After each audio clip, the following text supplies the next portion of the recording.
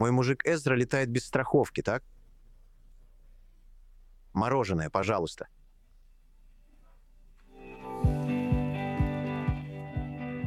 Я сэкономлю много времени, если скажешь правду. Аутичным детям все равно.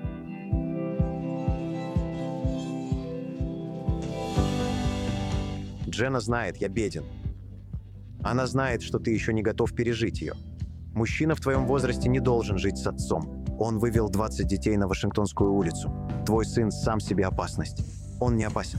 Это вызов. Ни у кого нет желания работать. Вижу, откуда исходит опасное поведение. Молчи. Хочешь сделать что-то для сына? Достанься до Лос-Анджелеса. Джимми Киммел хочет вас пригласить. Что? Тебе не повезут? Это проблема? Ну нет.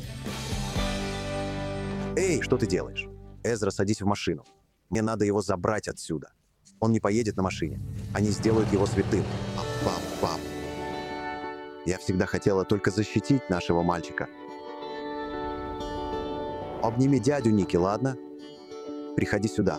Эй, куда ты уходишь, малыш? Слово «аутизм» греческое в твоем мире. Не хочу, чтобы он был в своем мире. Хочу, чтобы он был в этом мире.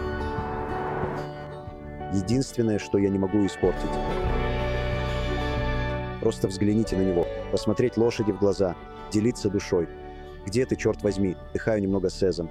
Лучшее время для отлета, Макс. Борешься за что-то.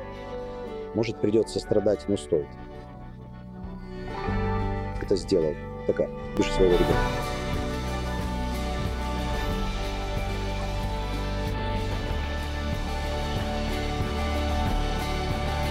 Работа отца – вести сына по полю.